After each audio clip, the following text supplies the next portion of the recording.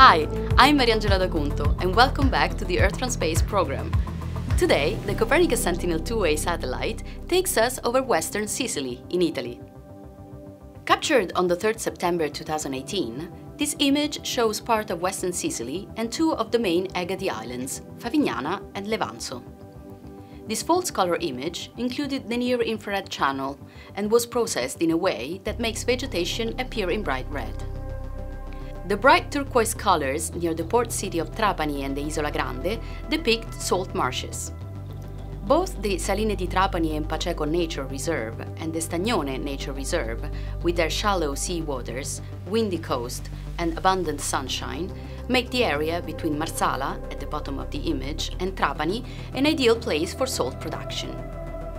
The reserve consists of more than 1,000 hectares of landscape dotted with windmills, migratory birds, such as flamingos, and light red lagoons visible in summer. This greenish-blue color is heavily contrasted with the black of the open Mediterranean Sea.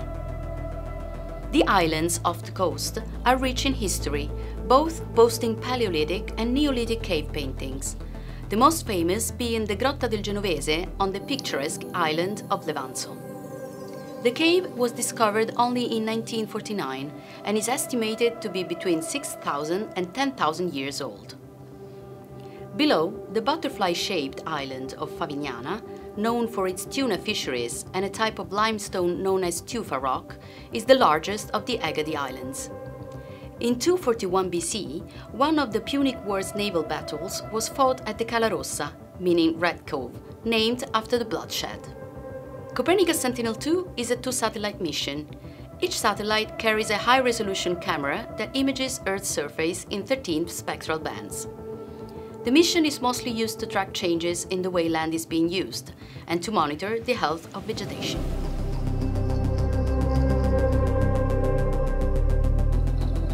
And that's all for today.